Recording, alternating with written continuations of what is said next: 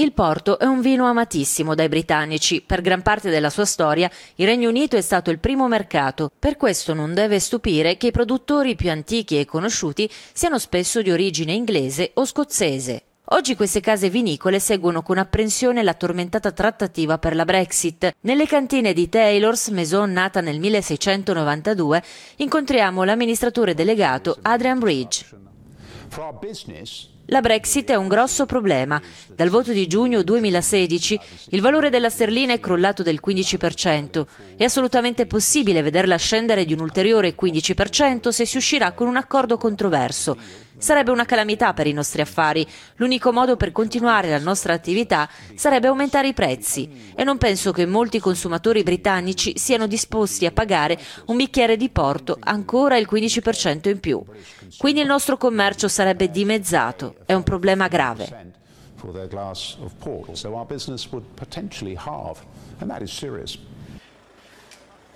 Ad oggi il Regno Unito da solo rappresenta un quarto degli acquirenti di questa azienda. Ci costerebbe 10 milioni di euro, avrebbe un grosso impatto sul nostro personale e sul territorio, prosegue Bridge.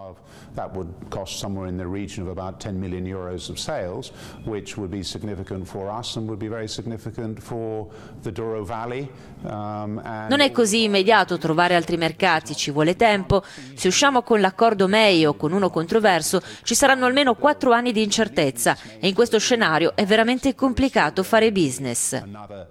At least four years of uncertainty, and it's in that uncertainty that it becomes very, very difficult to do business.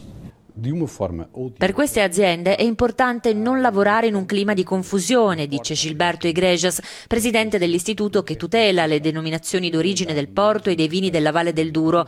Bisognerà capire come affrontare un nuovo mercato e nuove politiche europee. Con questo nuovo mercato e con questa nuova uh, abrangência di politiche europee.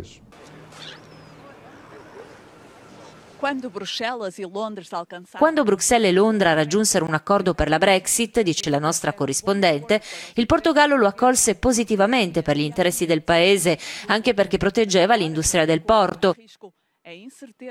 Ora che il patto rischia di saltare, l'incertezza è la parola chiave per questo storico commercio.